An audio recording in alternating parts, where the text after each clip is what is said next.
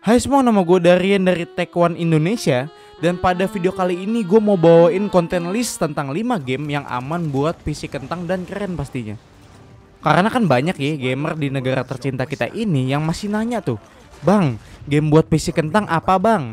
Bang, PC saya kentang nih nggak kuat main game-game berat gitu kan? Terus ada juga yang komen Bang, jangan ngomongin game-game berat dong. Saya kan PC-nya kentang nggak bisa mainnya jadi nggak relate gitu ya Kan? Ada yang komen-komen gitu tuh. Nah, gue masih banyak nemu komen-komen kayak gitu di uh, channel-channel yang berkaitan dengan gaming pastinya Nah berangkat dari hal tersebut rasanya gue punya kesadaran lebih ya Untuk ngasih rekomendasi game yang ringan tentunya untuk PC kentang Sekaligus juga game yang secara kualitas itu masterpiece Jadi yang gue kasih di list ini adalah game-game yang bukan bukan hanya enteng gitu ya Tapi game-game yang memang punya kualitas yang juga bagus gitu tapi sebelum masuk ke list ya, gue mau disclaimer dulu nih. Kalau semua game yang ada pada list ini, itu bisa dibilang belum rilis terlalu lama, nggak kayak era-era PS game-game PS2 atau retro gitu ya.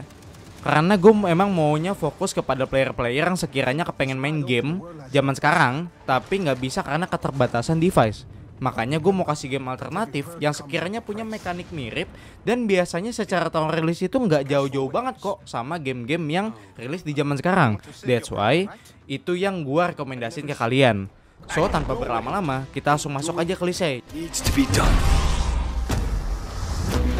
Way here's the real deal. Why are the bad ones always so good looking?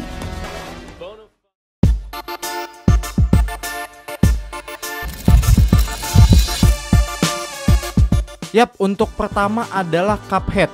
Kalau kalian lihat secara grafik dari game ini, emang udah kelihatan ringan banget kok.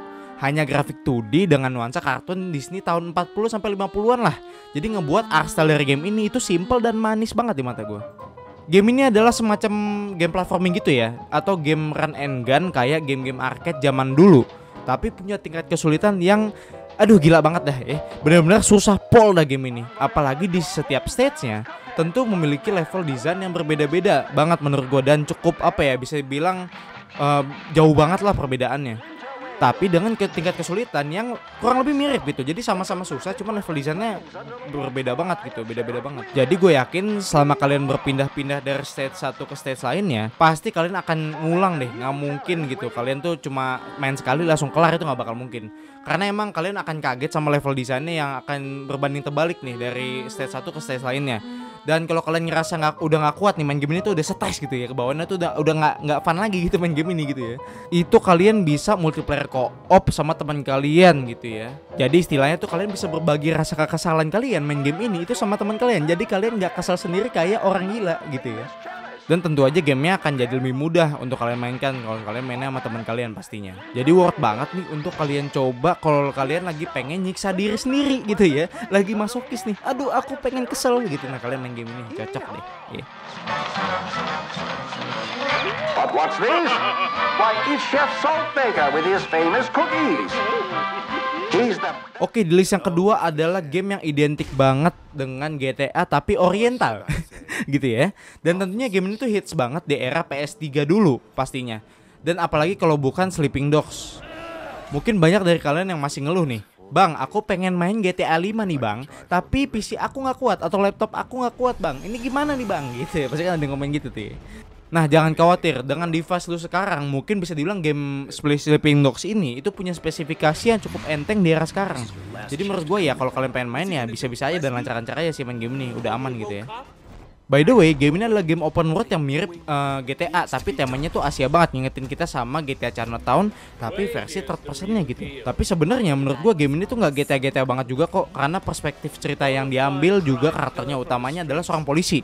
Jadi kalian akan lebih banyak menemukan misi-misi chasing dan tailing aja gitu, tailing orang atau tailing uh, sekelompok geng gitu ya dibanding kalian ngerusuh sana sini kayak game GTA gitu. Karena basic kayak udah jauh berbeda tuh. Satunya berandalan memang itu kan geng satunya itu kepolisian gitu kan. Dan game ini tuh seru banget uh, dan gue sangat enjoy sama fighting mechanism dari game yang dikasih di game ini.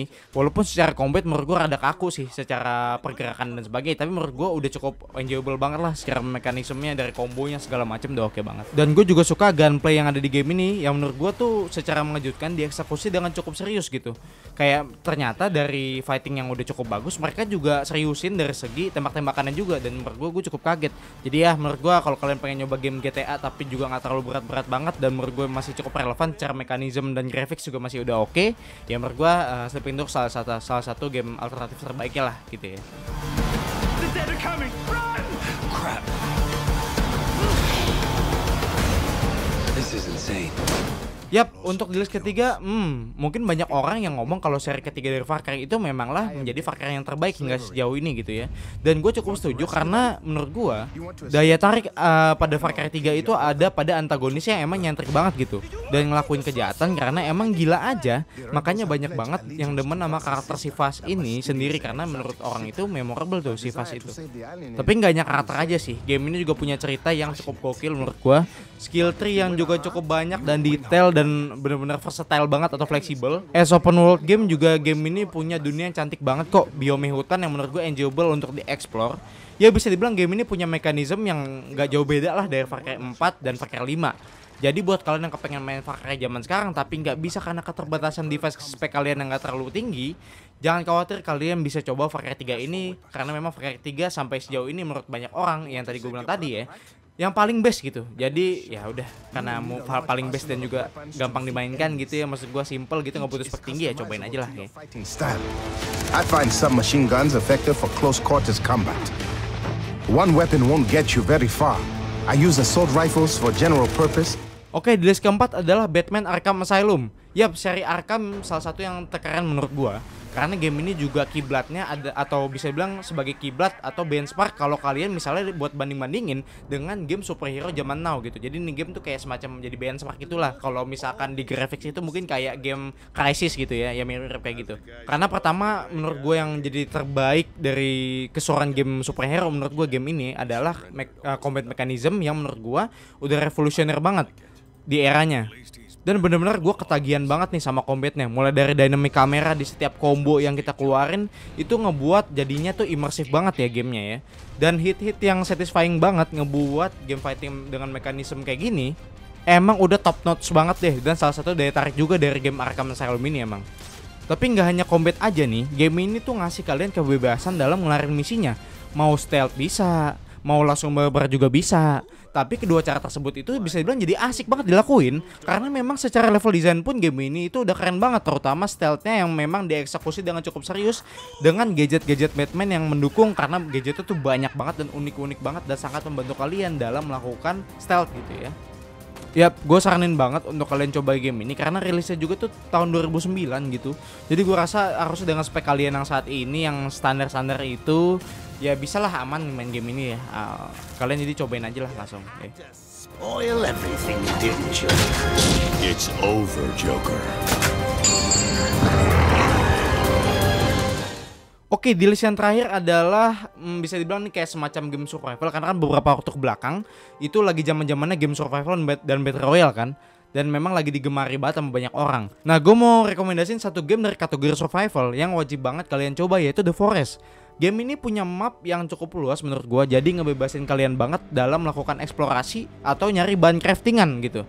Bahkan game ini juga bisa dibilang menegangkan karena selain kalian harus berfokus bertahan hidup di alam bebas, kalian juga harus melindungi diri kalian sendiri dari serangan suku pedalaman yang ada di game itu dan sukunya itu kanibal gitu ya. Dan sewaktu-waktu itu sukunya itu bisa nyerang kalian kapan aja. Jadi misalkan kalian lagi bangun rumah atau sebagai lagi aktivitas gitu, itu bisa kalian tinggal bisa langsung diserang aja sama mereka gitu. Jadi ya kalian mesti siap-siap juga gitu. Jadi memang seru nih game gitu. Untuk plot cerita cerita sendiri memang nggak terlalu berat eh, tapi menurut gua plot yang dihadirkan itu cukup menarik.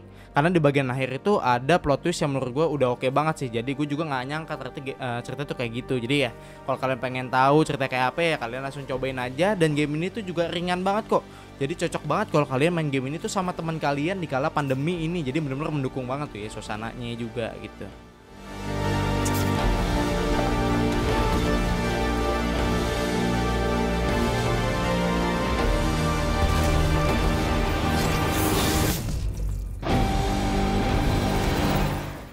Oke, mungkin segitu aja list 5 game terbaik untuk PC kentang versi gua. Ya lumayan lah di tengah harga VGA yang lagi nggak masuk akal ya kalian tahu kan ya.